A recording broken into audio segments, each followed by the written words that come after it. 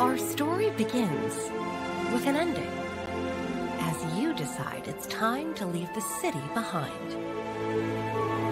Yearning for a pause from life's responsibilities, you arrive at a familiar place.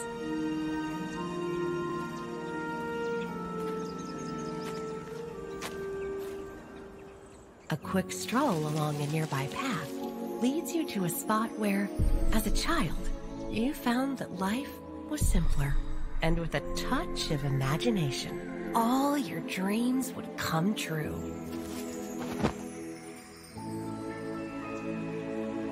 Finding the perfect place for a rest, you begin remembering these long lost dreams and drift off to sleep.